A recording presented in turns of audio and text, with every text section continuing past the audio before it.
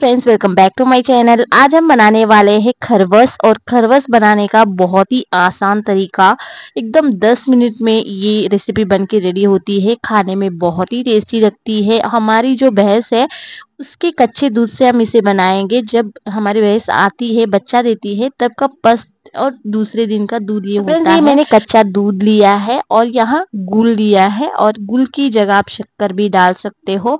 तो फ्रेंड्स इस तरीके से ये गाढ़ा दूध होता है और बहुत ही इजी और आसान तरीके से बना के इसे रेडी कर सकते हो। रेसिपी बहुत ही आसान है फ्रेंड्स आप इसमें गुल डालना है और इलायची पाउडर डालना है। गुल की जगह आप शुगर भी डाल सकते हो और आज हम इसे कुकर में बनाने वाले हैं बहुत ही आसान तरीके से और ये दूध बहुत ही गाढ़ा है।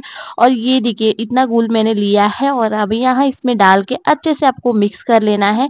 गुल जो है वो अच्छे से मेल्ट होना चाहिए और गुल जल्दी मेल्ट नहीं हो रहा है तो शुगर का भी आप यूज़ कर सकते हो। बस थोड़ा सा पतला आप बनाना चाहते हो तो इसमें दूध ऐड कर सकते हो। तो इसमें मैंने दूध नहीं ऐड किया है और जो हमारा खरवस है एकदम टाइटनेस में बनेगा।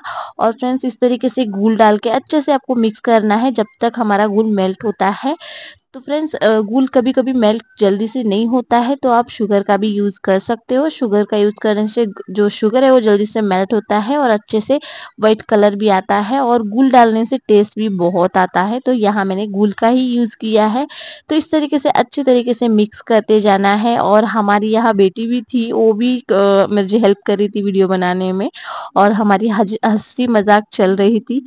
फूल को अच्छे से मेल्ट करने के बाद अब हम यहाँ डालेंगे इलायची पाउडर और इलायची पाउडर आपके थोड़ा कम या ज़्यादा आप कर सकते हो तो मैंने इतना सा डाला है एक चुटकी और यहाँ मिक्स करना है अच्छे से और कुकर में ओनली हम जैसे चावल चढ़ाते हैं वैसे इसे चढ़ाना है हमें। मिनट में बन के रेडी हो जाता है फ्रेंड्स और इसे अच्छे से मिक्स कर लेना है जब तक हमारा गुल मेल्ट हो रहा है और अभी रेडीमेड भी खरवस भी आ रहा है पैकेट में पाउडर के थ्रू, उससे भी आप बना सकते हो।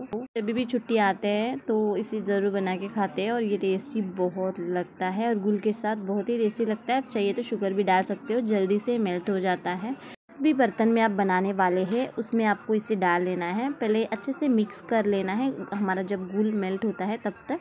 और इस तरीके से मैंने यहाँ मिक्स कर लिया है और ये देखिए, गई का इसलिए येलो लग रहा है फ्रेंड्स दूध और हम यहाँ शुगर डालेंगे, गुड़ डाला है इसलिए भी येलो आया है कलर और इसमें आप शुगर भी डाल सकते हो और अब हम इसमें टीन में डालेंगे और कुकर के जो टीन से वो भी आप यूज़ कर सकते हो और जो नॉर्मल बर्तन आते हैं वो भी यूज़ कर सकते हो, ज़रूरी नहीं है कि टीन ही चाहिए।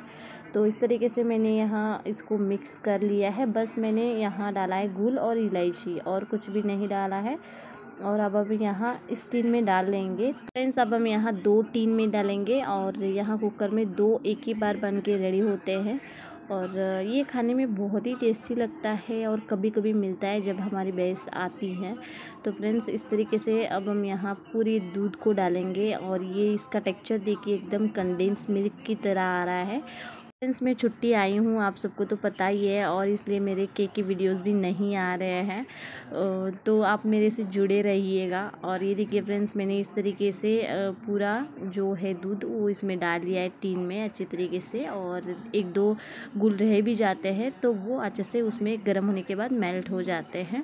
फ्रेंड्स इस तरीके से मैंने यहाँ फिर से बर्तन में डाल लिया जो टीन लिया था वो थोड़ा सा लीक हो रहा था तो इसमें मैंने डाल लिया और एक ही साथ हमारे दो बन के रेडी होते हैं और मैंने थोड़ी सी इलायची पाउडर डाली है ऊपर इसका टेक्सचर अच्छा आएगा। टेस्ट और स्मेल भी बहुत ही अच्छा आएगा तो इस तरीके से मैंने डाल लिया है और आप एक ही बनाना चाहते हो तो भी बना सकते हो और मैंने लिए यहाँ कुकर और इसमें डालने वाले हैं पानी और हम यहाँ बहुत ज़्यादा मज़ाक मस्ती चल रही थी और हमारी जो छोटी है वो भी मेरे साथ थी और वो भी वीडियो बना रही थी। बहुत हंस रहे थे हम।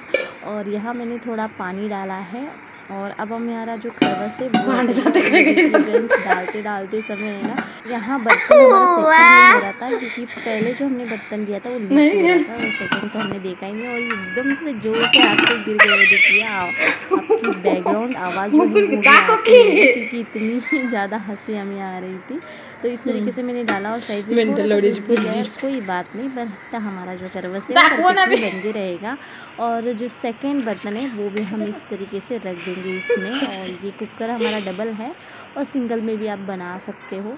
आपके पास कुकर नहीं है तो आप एक बर्तन में पानी डाल के उसे बीच में इस तरीके से रख के बना सकते हो। और ये देखिए सेकेंड बर्तन में भी इस तरीके से रख दिया। एक काम में दो काम हो सकते हैं फ्रेंड्स इस बड़े वाले कुकर में। आप एक ही कुकर में बना सकते हो। तो मैंने इस तरीके से इसे ढक के ट्वेंटी मिनट आपको रख देना है ऊपर यहाँ तीन सीटी में लगा रही हूँ। और तीन सीटी में एकदम परफेक्ट बन जाता है ये। और इसे अच्छे से ढक के आपको एकदम गैस के ऊपर धीमी आँच करके तीन सीटी लगा और आप नॉर्मल बर्तन में बना रहे हैं तो ओनली ट्वेंटी थर्टी मिनट्स रख सकते हो।